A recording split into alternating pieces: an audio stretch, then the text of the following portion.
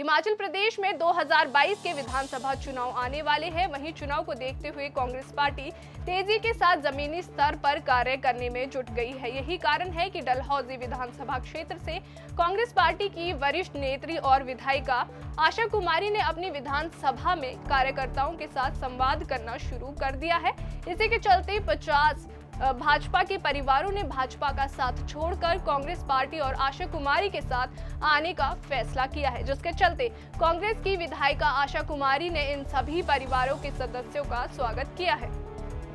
बता दें कि जैसे जैसे चुनाव नज़दीक आते जाएँगे तो लोग पार्टी छोड़ने और थामने का सिलसिला आगे यूँ ही बढ़ाते रहेंगे। लेकिन सलूनी से भाजपा के लिए बड़ा झटका लगा है, जहाँ एक साथ पचास परिवारों ने भाजपा को अलविदा कहा। तो आने वाले चुनाव में इसका नुकसान भाजपा को उठाना पड़ सकता है। आशा कुमारी ने कहा कि महँगाई, बेरोजगारी और भाजपा के कार्यकर्ताओं का झूठ बोलना, साथ ही झूठी घोषणाएँ करने से अब भाजपा के लोग भाजपा को बाय बाय कहने लगे हैं। आशा कुमारी ने कहा कि इस महँगाई के दौर में भाजपा ने लोग परेशान कर दिए हैं। वहीं दूसरी ओर डलहौजी से कांग्रेस पार्टी के वरिष्ठ नेत्री और विधायिका आशा कुमारी ने आगे कहा कि भाजपा की नीतियों से तंग होकर भाजपा के 50 परिवारों ने कांग्रेस का दामन थामा है। उन्होंने कहा कि महँगाई, बेरोजगारी और अग्निपथ जैसे कई विषय हैं, जिसे लोग परेशान हो गए हैं और लोगों ने अपना मन बना लिया है। और कांग्रेस पार्टी में लगातार भाजपा के अलग अलग पंचायतों के लोग पार्टी छोड़कर आ रहे हैं और कांग्रेस पार्टी में अपना विश्वास जता रहे हैं। कि सेक्टर का कार्यकर्ता कार्यक्रम था और उस कार्यकर्ता कार्यक्रम में बहुत सारे भारतीय जनता पार्टी के लोग अपनी पार्टी को छोड़ करके हमारी पार्टी में शामिल हुए हैं।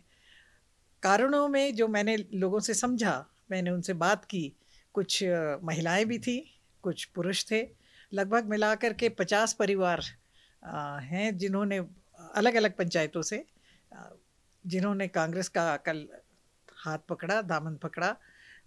महँगाई, बेरोज़गारी, काम ना होना, भारतीय जनता पार्टी के नुमाइंदों का झूठ बोलना बहकाना झूठी नौकरियों का आश्वासन देना।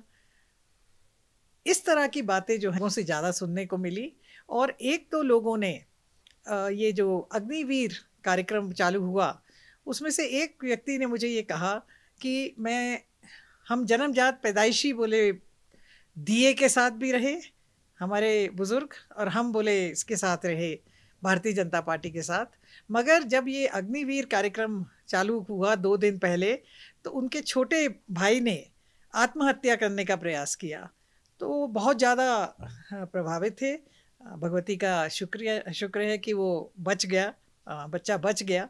मगर जो मेंटल, एक बोलते हैं, टॉर्चर दबाव मानसिक दबाव में जो बच्चे युवा आ रहे हैं उसकी वजह से निश्चित तौर पे जो उनके फैमिली के लोग हैं परिवार के लोग हैं वो भी विचलित हैं।